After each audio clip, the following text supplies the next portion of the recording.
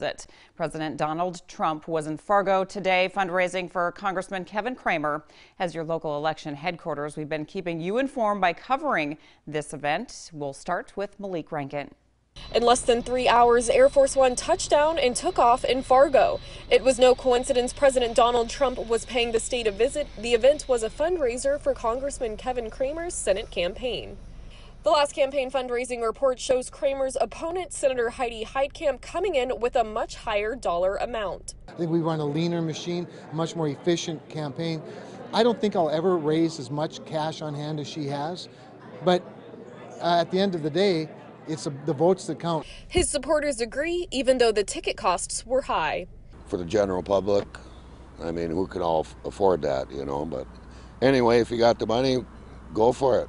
You know, $1,000 per couple to see a president isn't really even all that high a price uh, in, in today's political economy.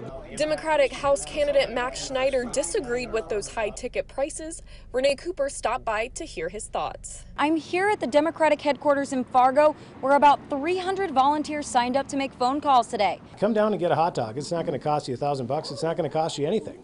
but grab a hot dog, uh, call up a couple of North Dakotans, and, and stress the importance of getting out there to vote. As Election Day is now officially less than two months away, Cramer supporters have no doubt he'll win the state support. Reporting for KX News, I'm Malik Rankin. Thank you both. Cramer told our KX News reporters that we shouldn't be surprised if the president pays yet another North uh, visit to North Dakota, but couldn't confirm anything so soon.